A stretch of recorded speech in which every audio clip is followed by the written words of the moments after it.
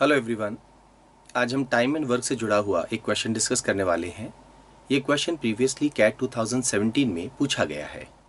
A person can complete a job in 120 days he works alone on day one on day two he is join by another person who also can complete the job in exactly 120 days on day three they are join by another person of equal efficiency like this every day a new person with the same efficiency joins the work How many days are required to complete the job? And the options are?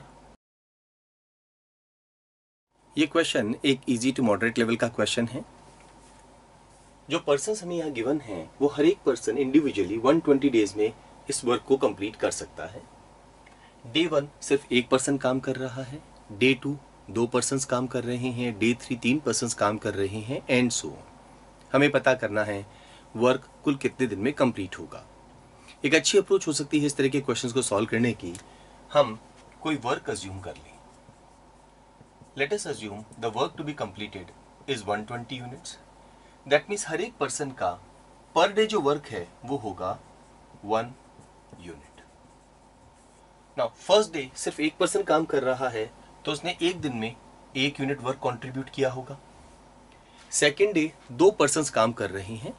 हर एक person एक unit contribute करता है तो दोनों मिलके two units contribute करेंगे। Third day तीन person काम कर रहे हैं तो ये मिलके तीन यूनिट्स कंट्रीब्यूट करेंगे। हमें पता करना है कुल कितने दिन में हमारा जो वर्क है वो कंप्लीट हो जाएगा। यानी वर्क कितना है? 120 यूनिट्स तो जब one plus two plus three and so on up to n का सम 120 आ जाएगा तो हम एन की वैल्यू पता कर सकते हैं। यहाँ पर एक बेसिक फॉर्मूला है हमारा अरिथमेटिक प्रोग्रेशन का।